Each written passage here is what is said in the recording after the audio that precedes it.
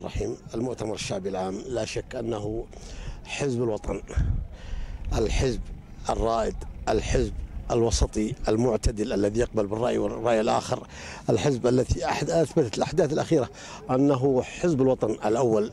آه لا شك أن الوطن يمر بمنعطفات خطيرة وخطيرة جدا ولا غنى عن رجال رجالات المؤتمر الشعبي العام الذين كان لهم الدور الأبرز في الحفاظ على الوحدة اليمنية وإرساء مداميكها العريضة.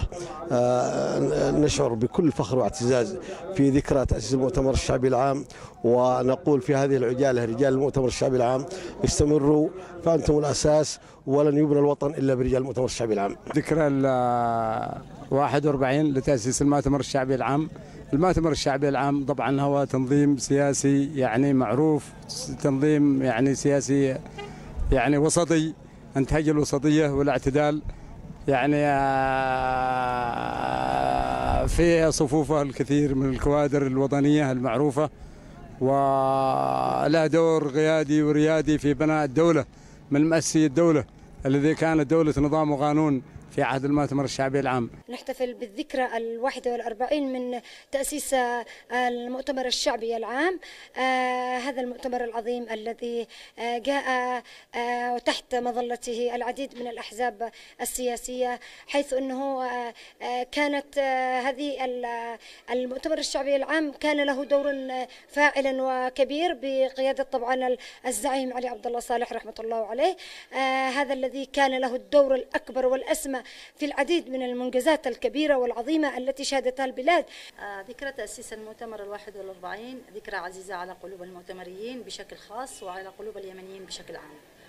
آه، تأسيس المؤتمر يعني لليمنيين بأنه تنمية بأنه اقتصاد بأنه تطور بأنه ثقافة بأنه أمن بأنه استقرار بأنه سلام. المؤتمر يعني لليمنيين دولة وسلطة ونظام وقانون. في ظل دولة المؤتمر سواء كان في السلطة فهو كان للتطور للاقتصاد للبنية التحتية للحضارة للتعليم للجامعات لكل شيء يطور الحياة ويطور المجتمع. وإن كان في المعارضة فهو يعتبر كذلك محل إصلاح ومحافظة على مكتسباته أيام ما كان في السلطة. حزب المؤتمر الشعبي العام في ظل حكمه 33 عاما الكثير من المشاريع لداء الدولة اليمنية وقدم الطرقات والمدارس وبناء المستشفيات والجامعات. فنحن هذا المؤتمر هو الحزب الناضج لبناء الدولة ولكن الأحزاب الأخرى قد قامت بالمحاربة لديه وقيام الثورة في 2011 لسبب انهيار الحزب وانهيار الدولة الحاكمة. فكان هذا من ظلم الدولة والقادمة والثورة الذي أقاموها حزب الإصلاح وحزب اللقاء المشترك.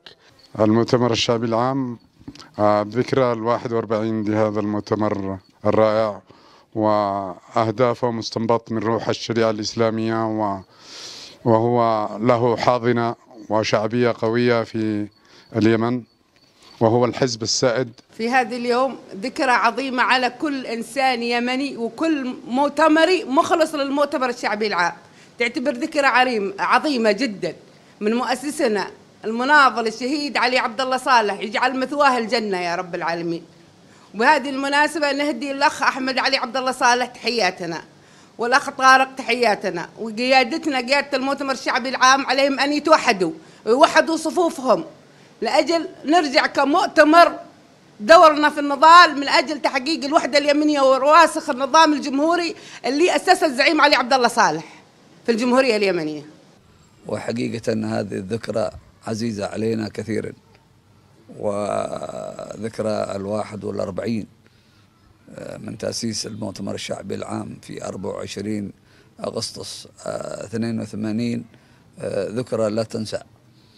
والله يرحمه من كان مؤسس هذا من القيادات آه، على راسهم آه، المرحوم والزعيم علي عبد الله صالح. والقيادات اللي تلته من منهم ميت ومن منهم حي من هو حي. الله يعطيه الصحة والعافية ومن توفى الله يرحمه. وكنا نفتخر باليمن وقوتها وبمؤتمرها الشعبي العام الذي جعلها فعلا آه، يعني لها مقومات ولها قوة. في العالم ومع دول الجوار وفرحنا كثير بأن ستتقوى اليمن وتستعيد تاريخها الحضاري.